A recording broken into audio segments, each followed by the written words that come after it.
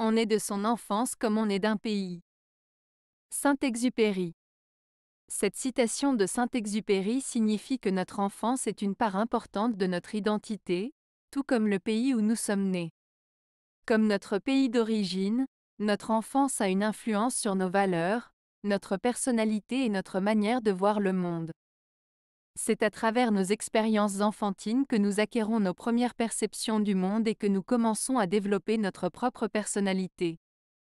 En ce sens, il est important de réfléchir à notre enfance et de comprendre comment elle nous a façonnés en tant qu'individus aujourd'hui.